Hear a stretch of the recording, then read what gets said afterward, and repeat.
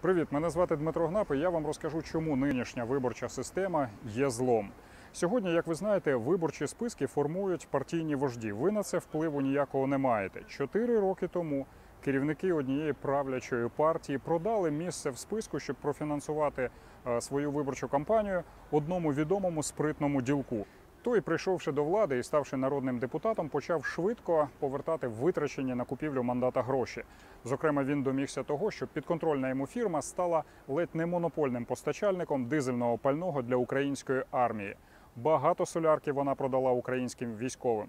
А для того, щоб гроші, витрачені на купівлю мандата, повертати швидше, солярку почали постачати низької якості. Директора цієї фірми, зрештою, оголосили в міжнародний розшук. А сам народний депутат, користуючись імунітетом, продовжує посміхатися, заробляти мільйони доларів на державних потоках і посміюватися, готуватися до нових виборів, щоб купити нове місце в списку нової правлячої партії.